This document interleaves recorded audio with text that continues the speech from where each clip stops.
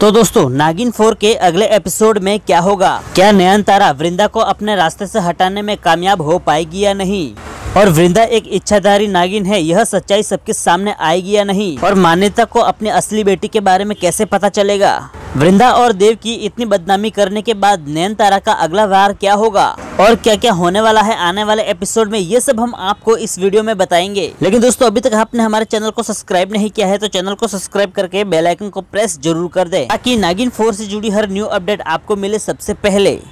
तो दोस्तों, अगले एपिसोड में आपने देखा पार्टी में नयन तारा ने मौका का फ़ायदा उठाकर वृंदा और देव दोनों को एक कमरे में बंद कर देती है। इसके बाद वहाँ पर मीडिया और सभी लोगों को बुलाकर इकट्ठा कर लेती है। इससे वृंदा और देव की काफ़ी बदनामी देखने को मिलती है। और इस बदनामी की वजह से वैशाली अपना सारा गुस्सा वृंदा पर निकालती है और वृंदा की आँखों से आँसू गिरने लगते हैं। लेकिन देव वृंदा का हीरो उन आंसुओं को गिरने नहीं देता है। और दूसरी तरफ़ आपको देखने को मिलेगा की नैन तारा मौके का फ़ायदा उठाकर वैशाली को कहती है की मैं दो प्यार करने वालों के बीच में नहीं आना चाहती। और तभी वैशाली ऐलान करती है और कहती है की देव सिर्फ़ मेरा बेटा है और वो वही करेगा जो मैं कहूँगी। और इसलिए मैं कह रही हूँ कि देव की शादी सिर्फ़ तुमसे होगी। और ऐसा ऐलान करते हुए वह अपना कंगन निकाल कर नयन तारा को पहना देती है। और दूसरी तरफ़ नाग रानी मान्यता अपनी असली बेटी का नाम जानने के लिए काफ़ी बेताब है। तो चलिए हम आपको बताते हैं, उसे कैसा पता चलेगा कि उसकी असली बेटी कोई और नहीं बल्कि वृंदा है। दरअसल मान्यता को नयन तारा शक हो जाता है की ये मेरे से कुछ छिपा रही है।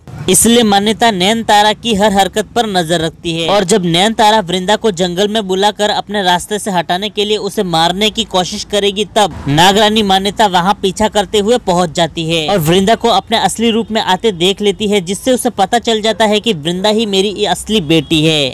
तो दोस्तों, आने वाला एपिसोड काफ़ी इंटरेस्टिंग होने वाला है। देखने के लिए हमारे चैनल को सब्सक्राइब करके बेल आइकन को प्रेस ज़रूर कर दें।